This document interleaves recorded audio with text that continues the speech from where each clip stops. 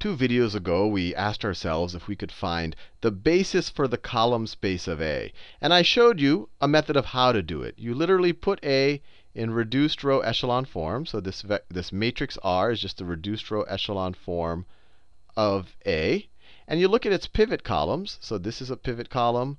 It has a 1 and all zeros. This is a pivot column, 1 and all zeros. And the 1 is the leading non-zero term in its row. And this is a pivot column. Let me circle them. These guys are pivot columns, and this guy's a pivot column right there. And you look at those in the reduced row echelon form of the matrix, and the corresponding columns in the original matrix will be your basis. So this guy, this guy, so the first, second, and fourth, so the first, second, and fourth columns. These, so if we call this, this is A1, this is A2, and let's call this A4. This would be A3, and this would be A5. So we could say that A1, A2, and A4 are a basis, a basis for the column span of A. And I didn't show you why two videos ago. I just said this is how you do it. You have to take it as a bit of an article of faith. Now, in order for these to be a basis, two things have to be true. They have to be linearly independent. And I showed you in the very last video, this, the, after the second in our kind of series dealing with this vector, I showed you that by the fact that let's say that this guy is R1, this guy is R2, and this guy is R4, it's clear that these guys are linearly independent. They each have a 1 in a unique entry, and the rest of their entries are 0. So because all of the other, and this is true, I'm, we're looking at three pivot columns right now, but it's true of the definite, if we had n pivot columns, that each pivot column would have a 1 in a unique place, and all of the other pivot columns would have 0 in that entry. So there's no way that the other pivot columns, with any linear combination of the other ones, could never add up to each of them. So this, these are definitely linearly independent. And I showed in the last video that if, if we know that these are linearly independent, we do know that they are, given that R has the same null space as A, we know that these guys have to be linearly independent. I did that in the very last video. Now the next requirement for a basis, we checked this one off, is to show is to show that a1, a2, and an, that a1, a2, and an that their span equals the column space of A. Now, the column space of A is the span of all five of these vectors. So I have to throw A3 in there and A5. So to show that just these three vectors by themselves span our column space, we just have to show that, look, I can represent A3 and A5 as linear combinations of a1, a2, and a4. If I can do that, then I can then I can say, well, you know, then these guys are redundant. These guys are redundant. Then the span the span of a1, a2, a3, a4, and a5 doesn't need the a3 and the a5 terms. That we can just reduce it to this because these guys these guys can be represented as linear combinations of the other three. If that, these guys are redundant. And if we can get rid of them, then we'll show if we can if we can show that these guys can be represented as linear combinations of the other, then we can get rid of them, and then the span of these three guys would be the same as the span of these five guys, which is of course the definition of the column space of A. So let's see if we can do that.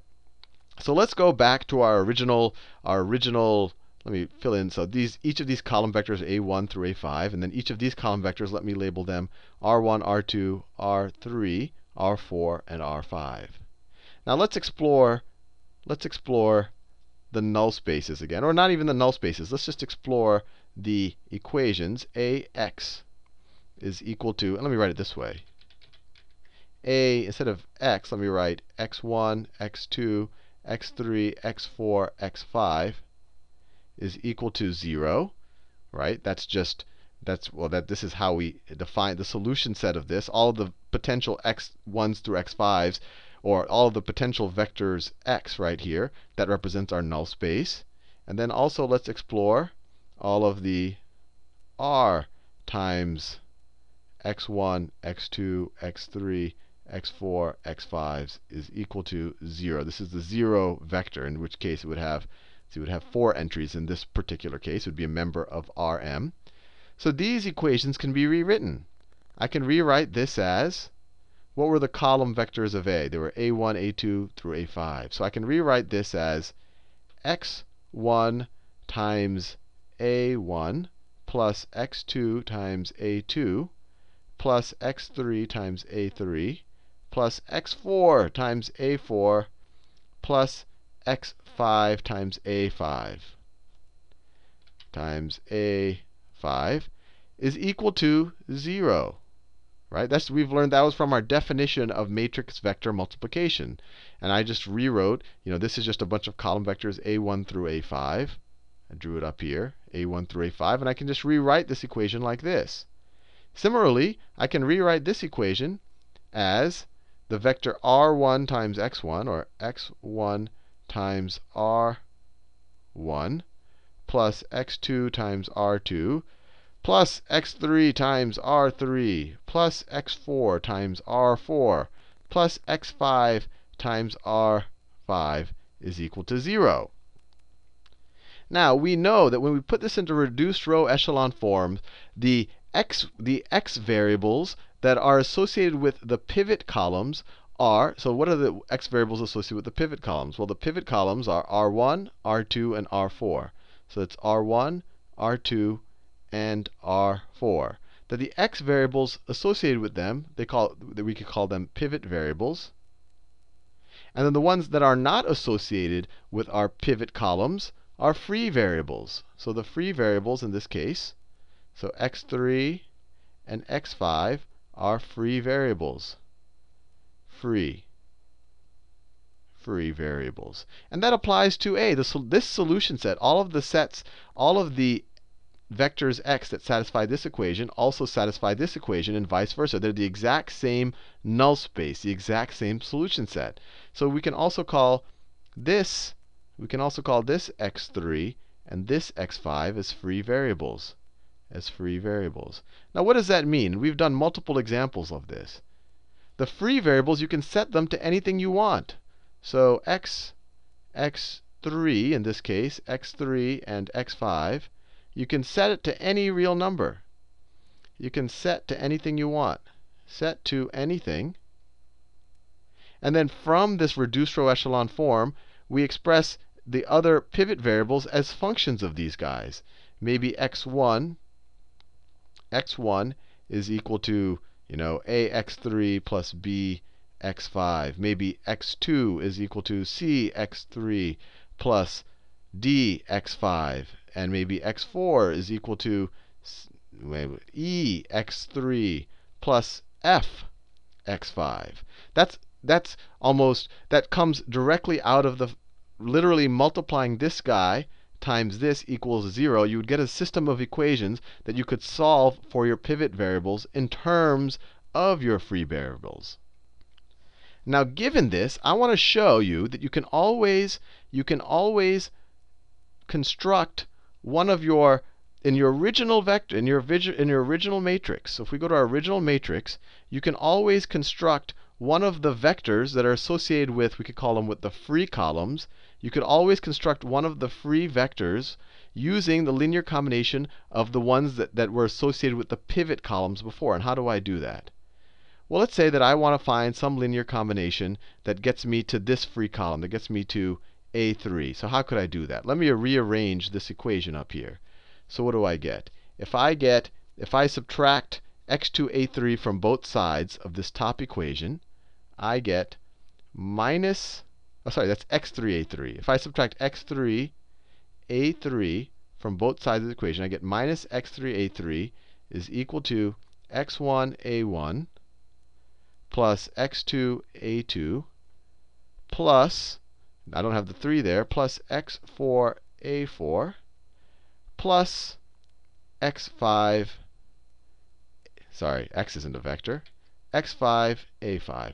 All I did is I, this, this I guess salmon colored statement here is just another rewriting of this equation right here. And all I did is I subtracted this term right here, x3a3, from both sides of the equation. Now, x3 is a free variable x, we can set it to anything we want. And so is x5. So let's, let's set x3 is equal to minus 1. So if we set x3 is equal to minus 1, then this term right here becomes a 1, right? Because that was minus x3. And let's set x5 equal to 0, as x5 is equal to 0. So if x5 is equal to 0, this term disappears. And I did that because x5 was a free variable. I can set them to anything I want. Now, I've written a3 as a linear combination of, I guess you could call it my, my potential basis vectors right now, or the vectors that were associated as a1, a2, and a4. A1, a2, and a4. They're the vectors in the original matrix that were associated with the pivot columns. Now, in order to show that I can always do this, we have to show that there's, for this combination, there's always some, there's always some x1, x2, and x4 that satisfy this. Well, of course, there's always some x1, x2 that satisfy this. We just have to substitute our free variables, x3 is equal to minus 3 and x5 is equal to 0, into this into these equations that we get from our system when we did it with the reduced row echelon form. So you get you know, I mean, you don't, I don't know if I even have to go through, you, in this case, you get x1 is equal to minus a plus 0, x2 is equal to minus c, so on and so forth. So you can always do that. You can get your, you can get, you can always express the vectors, you can always express the vectors that are associated with the non-pivot columns as linear combinations of the vectors that are associated with the pivot columns. What I just did for a3, you could just as easily have done for a5 by subtracting this term from both sides of the equation, setting x5 to negative 1 and setting x3 to 0 so that the 3 term disappears. And you could run the same exact argument. So given that, I've hopefully shown you, or at least helped you see, or, or made you comfortable with the idea that the vectors, let me do them in a nice vibrant color, these magenta color vectors here that are associated with the free columns that are associated with the free columns or with the free variables, right? The free variables were x3 and x5, x3 and x5, and that those were these columns right here, that they can always be expressed as linear combinations of the other columns, because you just have to manipulate this equation, set set the coefficient for whatever you're trying to find a linear combination for equal to minus 1, and set all the other free variables equal to 0 that you're not solving for, and then you can get a linear combination of the of the of the vectors that are associated with the pivot columns. So given that, we've shown you that, look, these free vectors, and I'm using my terminology very loo loosely,